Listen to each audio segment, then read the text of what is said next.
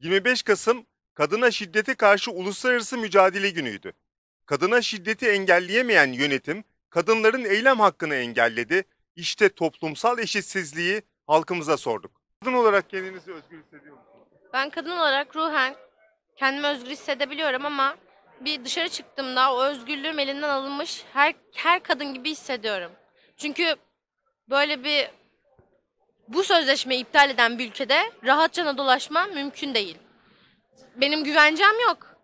Sokakta herhangi bir saatte dolaşma şeyim yok. Gece 12'de dışarı çıkma hakkım var. Ama bu şeyden dolayı çıkamıyorum. Korku korku yolda yürüme içgüdüsü oluşuyor. Bu kadın erkek eşitliğine katılıyorum ama hiç kimse de ben kadın erkek eşitliğini savunuyorum deyip de gerçekten savunan hiç kimseyi görmüyorum.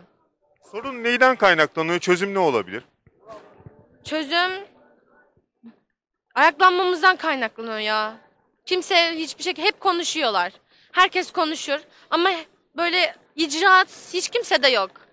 Böyle hep birlikte gerçekten sesimizi duyurabilsek böyle gerçekten bir yer böyle sesimizin güzelce bir gideceği şeyde hepimiz ayaklanıp konuşabilsek belki de her şey düzelecek ama hiç kimse de icraat göremiyorum. Herkes konuşuyor. Herkes fikrini söylüyor. Ama gerçekten bir icraat yok. Bir ayaklanma yok, bir inkar yok. Hiç kimse de yok. Rica ederim.